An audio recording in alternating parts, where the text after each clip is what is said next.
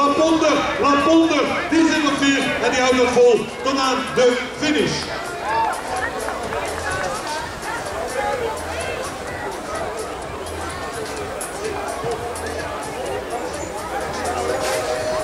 Juke Bouwdi is in het midden als eerste weg. De naam uit Gelder de Malsen vandaan. Die gaat er als eerste en springt die dubbel. Oeh, valt bijna.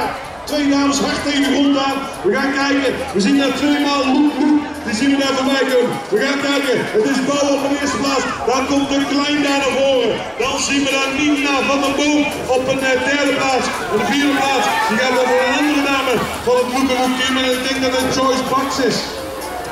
Inderdaad, Joyce Bax, dame met 68.